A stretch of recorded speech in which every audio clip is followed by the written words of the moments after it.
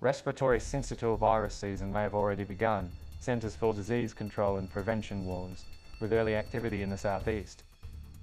The United States Centers for Disease Control and Prevention issued a health advisory due to an increase in cases of respiratory syncytial virus, also known as respiratory syncytial virus, particularly in southeastern United States.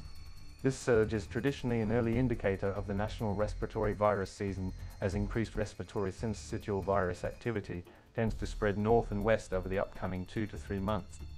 This virus is of particular concern as it causes significant hospitalization among children under four and has been a strain on children's hospitals nationwide. It also leads to 100 to 300 deaths annually in children under 5 and 6,000 to 10,000 deaths in those aged 65 and above. To combat this, the Centers for Disease Control and Prevention recommends that all infants under 8 months who are entering their first respiratory syncytial virus season receive one dose of Nirsevimab, the monoclonal antibody developed by AstraZeneca and Sanofi.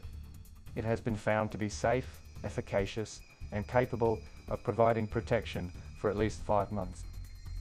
Additionally, vaccines against respiratory syncytial virus are now available for people aged 60 and above manufactured by GlaxoSmithKline and Pfizer. However, the decision to vaccinate is recommended to be based on shared clinical decision-making between the healthcare provider and the patient.